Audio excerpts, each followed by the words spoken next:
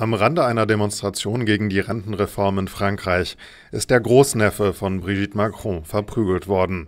Der Angriff war mutmaßlich politisch motiviert.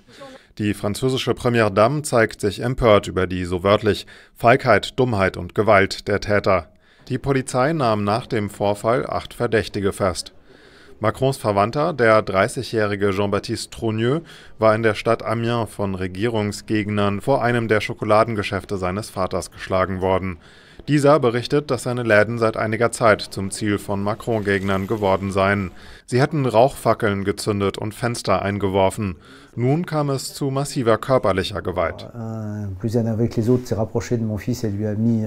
Einer, der aggressiver war als die anderen, hat sich meinem Sohn genähert und ihm eine Rechte in den Kiefer verpasst. Dann haben die zehn anderen auf ihn eingeprügelt. Die Schläge kamen von überall her. Er hat vier oder fünf Haken abbekommen. Er hat eine oder zwei gebrochene Rippen. Er hat drei verstauchte Finger, eine Schürfwunde an der Hand. Ein richtiges Massaker. Euh, il a trois doigts foulés, euh, une écorchure à la main. Euh, bon, un, vrai, un vrai massacre. Er wurde angegriffen, weil er unser Großneffe ist.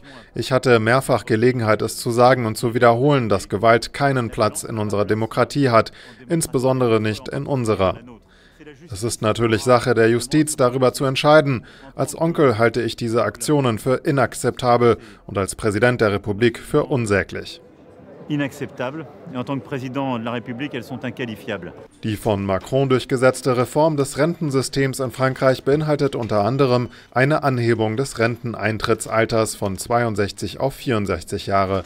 Das Gesetz sorgt in Frankreich seit Monaten für Proteste. Mehr als zwei Drittel der Franzosen lehnen die Rentenreform ab.